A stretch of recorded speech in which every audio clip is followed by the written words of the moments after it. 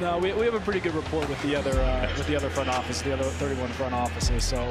Um, Martin Emerson Jr. of the Cleveland Browns was carrying a bag of sunflower seeds instead of a bag of marijuana during Saturday's preseason game, sorry to ruin the fun.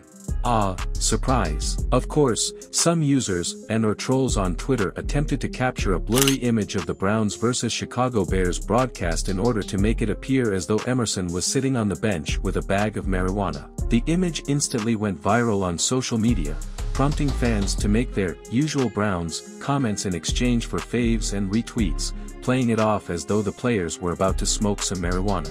However, one brave account made the decision to locate a far sharper image of the said cannabis, and, yes, it's unmistakably a bag of seeds. If you don't believe your eyes, our sources will convince you that it's not marijuana, and the same web video plainly shows multiple participants munching.